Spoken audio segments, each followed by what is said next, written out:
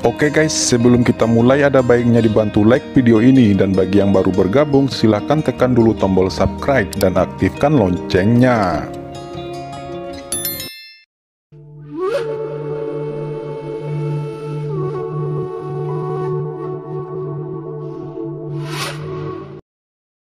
Karena meskipun kemungkinan ini jarang terjadi, ada beberapa Tianjiao yang masuk ke lantai 9 selama bertahun-tahun yang tak terhitung jumlahnya, dan saya tidak pernah mendengar bahwa markas akan sangat prihatin. Master Guanghan berkata, tidak heran kamu sangat menghargainya, tetapi Siang Wudi juga putra Santo teratas. Bahkan jika ditempatkan di antara banyak putra suci istana Guanghan saya, itu juga akan menempati peringkat terdepan. Namun bahkan jika Qin Chen menerobos ke lantai sembilan menara suci kuno, seharusnya sulit untuk mengalahkan Siang Wudi itu kan?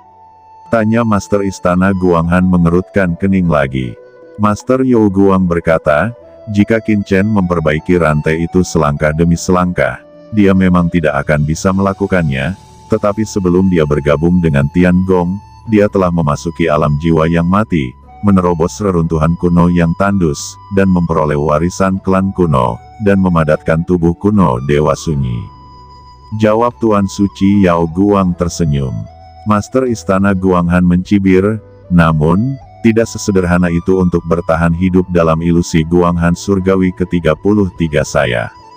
Bahkan jika aku dengan sengaja mengaktifkannya, itu sudah cukup untuk membunuh Tuan dari periode Santo akhir, sekarang semua tergantung pada murid Anda.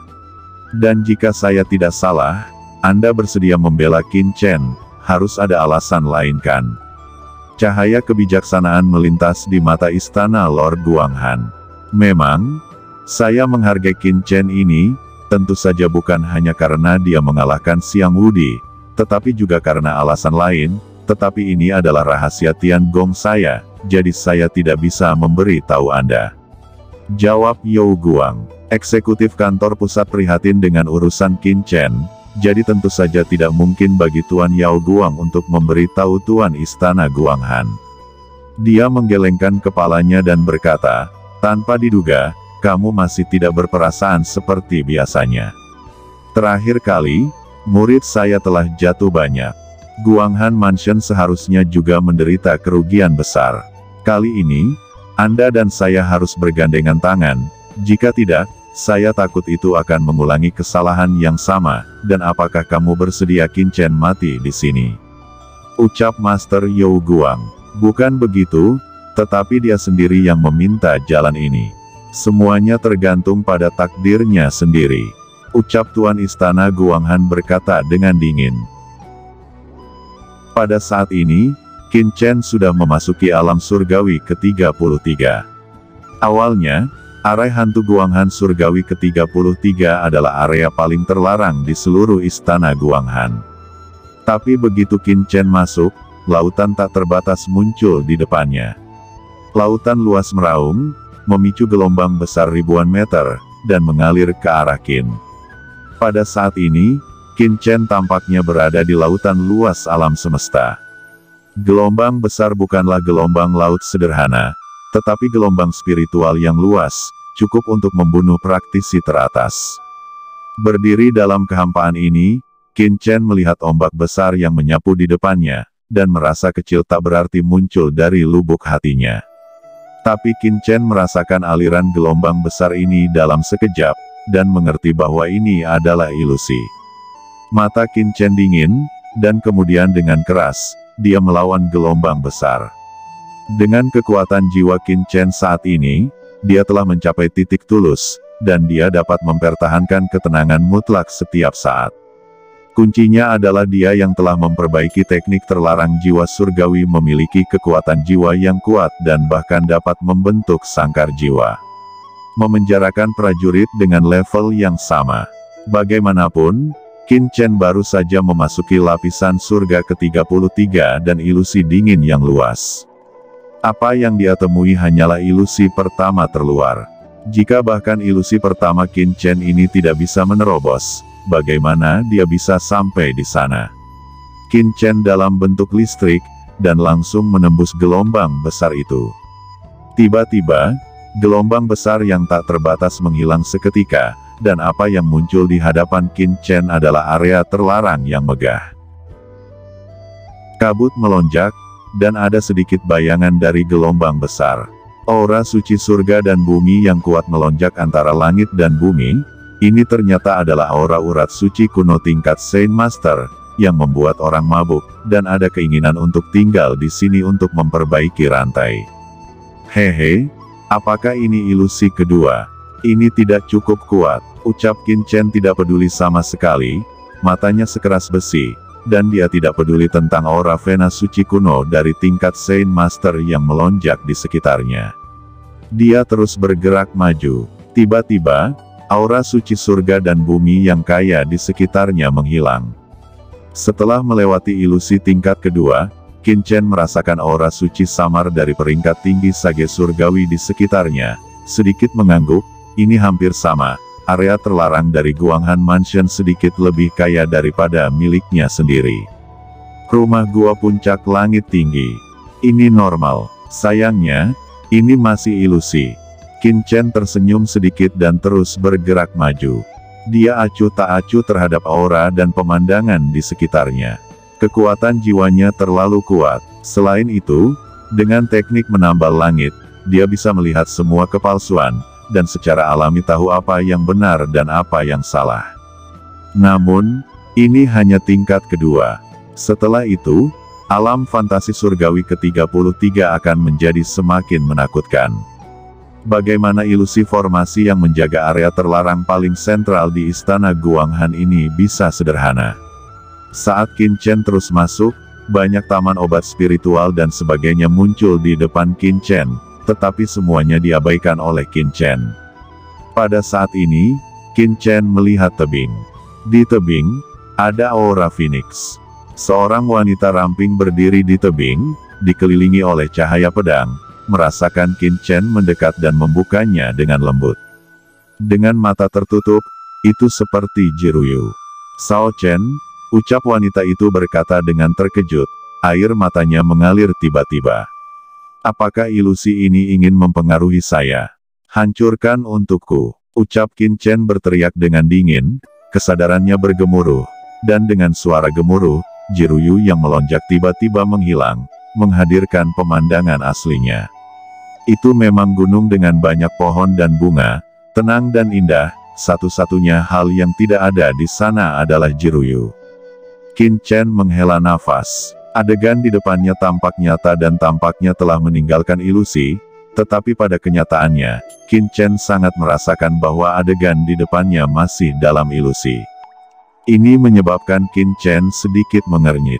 Alam fantasi surgawi ke-33 benar-benar terlalu kuat, dan ilusinya penuh dengan ilusi. Ini juga alasan mengapa ilusi surga ke-33 Guanghan dapat menyebabkan beberapa tuan sage surgawi puncak bisa tenggelam.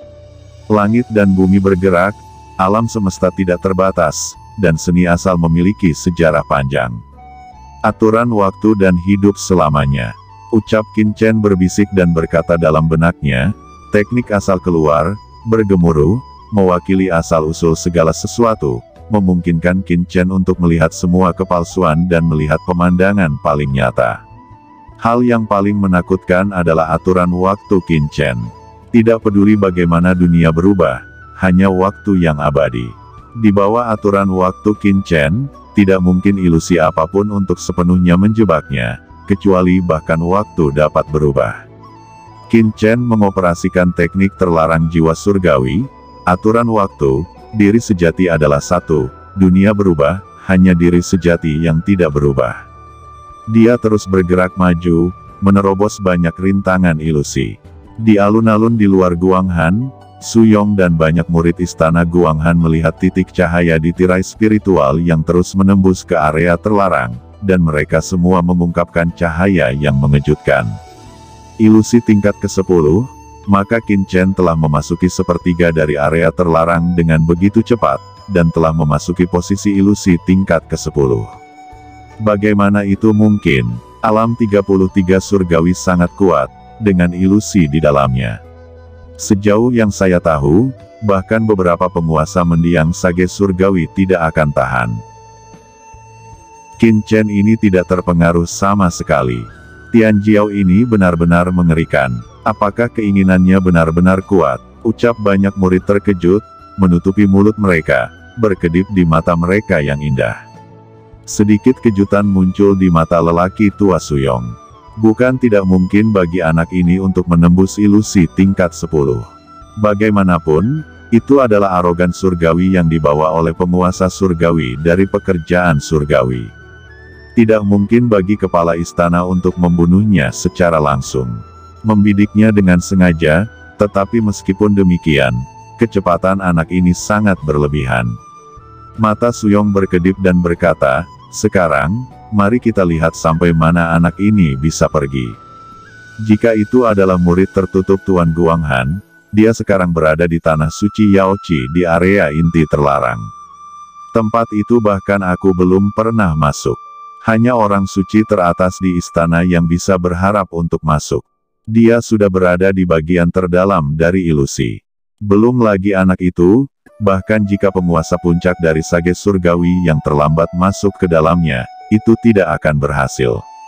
Karena itu, dia pasti akan gagal. Sekarang tergantung pada apakah dia bisa berhasil mundur sebelum dia gagal. Di antara mereka, ilusi ke-11 adalah titik kritis. Sebelas pertama adalah tingkat berat yang sama sekali berbeda. Sebelas pertama baik-baik saja. Seorang di puncak sage tengah surgawi masih diharapkan untuk bertahan hidup. Pada lapisan ke-12, kecuali kekuatan tuan dari orang bijak surgawi yang terlambat, pasti akan mati. Dalam ilusi ke-11 terakhir, bahkan penguasa puncak dari sage surgawi yang terlambat akan jatuh. Ucap Suyong, dan dia secara alami mengetahui kengerian surga ke-33 dan arai fantasi dingin, sehingga berspekulasi bahwa Qin Chen dapat menembus ilusi ke-11 paling banyak, untuk melampaui ilusi ke-11, dia pasti akan mati. Dan tepat ketika semangat itu melonjak di dalam hatinya, tahap ke-11 dari ilusi berlalu. Mata Suyong melewati jejak pemandangan, dan dia tiba-tiba berdiri lalu berkata, anak ini telah melewati tahap ke-11 dan memasuki tahap ke-12. Wajahnya menjadi pucat tiba-tiba, dan tidak bisa menahan diri untuk tidak menggelengkan kepalanya. Bocah ini masih terlalu naif, dan dia benar-benar masuk ke ilusi ke-12. Sepertinya dia pasti akan mati. Sekarang bahkan jika dia ingin mundur, sudah terlambat untuk mundur. Ilusi ke-12, bahkan penguasa sage surgawi yang terlambat akan tenggelam ke dalamnya. Bagaimana anak suci kecil ini bisa bertahan? Ucap Suyong sudah khawatir sekarang bahwa jika Qin Chen benar-benar jatuh ke alam surgawi ke-33, celah pasti akan terjadi antara penguasa cahaya suci dan penguasa istana, dan itu akan segera menjadi pengalaman sesi surga ini. Baik Guanghan Mansion dan Tiangong menderita kerugian besar, dan Tuan Suci Yao Guang datang kali ini dengan jelas untuk menyatukan Tuan Istana. Tetapi setelah Qin Chen ini mati, persatuan kali ini tampaknya tidak ada harapan. Ucap Suyong menghela nafas, matanya tiba-tiba membulat. Lapisan 13, anak ini bahkan telah melewati 12 ilusi sebelumnya. Anak ini bahkan tidak mati dalam ilusi ke-12. Bagaimana itu bisa terjadi? Mata Suyong hampir pecah, ekspresinya sulit dipercaya. Di area terlarang Guanghan Mansion, Lapisan ilusi ke-33 adalah batasnya. Sebelas lapisan ilusi pertama adalah pinggiran area terlarang, dan sebelas lapisan tengah ilusi sudah menjadi area inti. Ada berbagai bangunan, harta karun, dan tempat di mana para orang suci teratas berlatih di Guanghan Mansion. Ini sudah menjadi tempat paling kritis. Oleh karena itu, susunan magisnya begitu kuat dan menakutkan, setidaknya, Tuan dari Sage Surgawi yang terlambat mungkin tidak dapat bertahan hidup. Tapi sekarang, Qin Chen telah benar-benar melewatinya, dan berhasil masuk ke area ini, serta masih membuat kemajuan. Saat ini Qin Chen mengerutkan kening di lapisan ke-13. Di depannya ada puncak gunung. Di atas puncak ini terdapat banyak gua dan istana dan gelombang kekuatan ilusi yang menakutkan terus-menerus memengaruhi pikirannya. Sejak memasuki tahap ke-12, Qin Chen tidak bisa lagi hanya menggunakan keinginannya untuk melawan kekuatan ilusi yang mengerikan ini. Lagi pula, ini adalah area yang bahkan bisa melenyapkan seorang penguasa sage surgawi. Meskipun kekuatan jiwa Qin Chen kuat, tetapi itu hanya setara dengan tingkat penguasa mendiang sage surgawi. Oleh karena itu, di sini, Qin Chen akhirnya menunjukkan kemampuannya.